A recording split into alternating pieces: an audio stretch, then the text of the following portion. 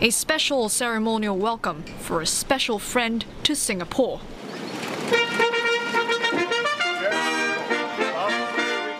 After the formalities, Indonesian President Joko Widodo and Prime Minister Lee Hsien Loong discussed issues regarding three landmark agreements. These pertain to defense cooperation, the extradition of fugitives, and airspace management. Both sides have also jointly applied for the International Civil Aviation Organization's approval on airspace management last week. We've taken a major step forward to resolve three long-standing issues we are ready to break new ground in fresh areas of cooperation that are deep, multifaceted, forward-looking and mutually beneficial and will make a difference to future gen generations. 15 agreements were signed. These focused on emerging sectors like the digital economy, sustainability, and human capital development. For instance, a program will be in place to allow young tech professionals from both sides to undergo work exchanges. Mr. Lee adds that Singapore will support Mr. Widodo's Nusantara project and his vision for a green and smart city.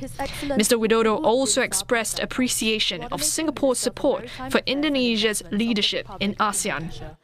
Menjaga persatuan dan sentralitas ASEAN sehingga tetap menjadi motor perdamaian dan stabilitas di kawasan dan menjadikan Asia Tenggara tetap menjadi pusat pertumbuhan ekonomi.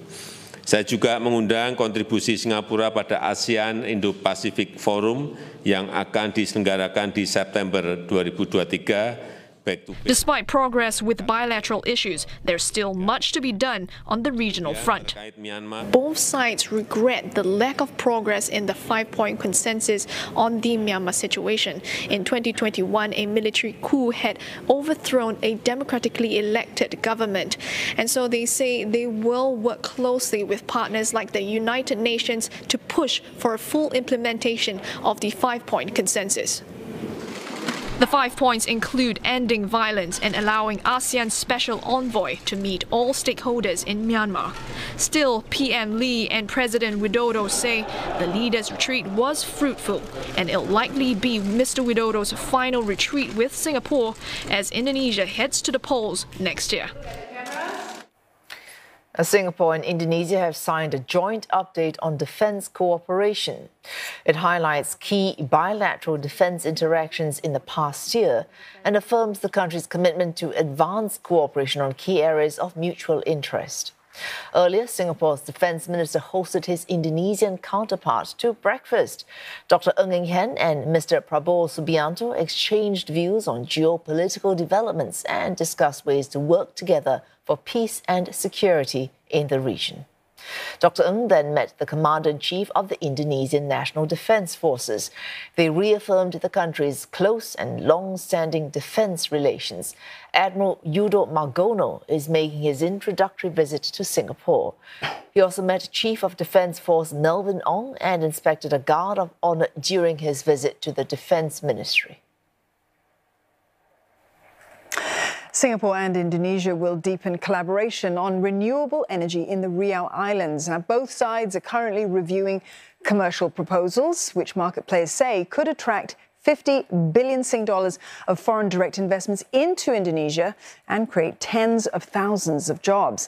Now, the two countries signed a memorandum of understanding to develop solar farms for a start under what's called a Green Corridor project and when viable, hydrogen and ammonia as alternative energy sources.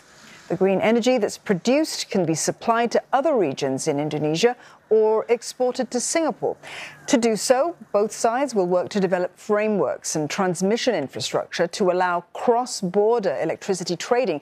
That's a move that could become a pathfinder for ASEAN. Cross border electricity trade will create new growth opportunities for companies open up further interconnections among Southeast Asian countries and contribute to the realization of the vision of an ASEAN power grid. And this will help to unlock our region's renewable energy potential, generate new investments in clean energy, and contribute to our region's collective decarbonization.